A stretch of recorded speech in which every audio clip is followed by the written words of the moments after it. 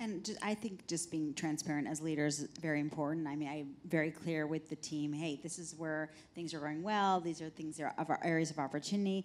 And again, going back to assuming good intentions. And you know, I love to get feedback. And so whenever you know something comes in sideways, I'm always going to the person like, hey, what can I do better? Tell me about it. And I think if people see that openness and that it's you know demystified, then they they realize this can be a constant conversation.